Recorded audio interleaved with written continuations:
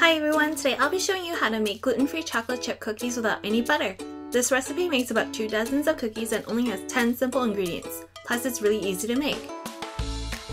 To get an idea of how much I use, click on the link below in the description box.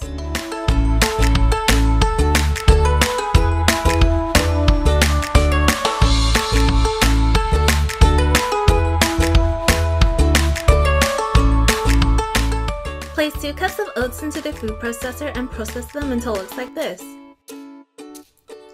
Set the oats aside and now fully blend the two ripe pears into sauce-like consistency. Blend in the avocado and remaining wet ingredients like eggs and vanilla extract. And just be sure to not overblend the wet mixture.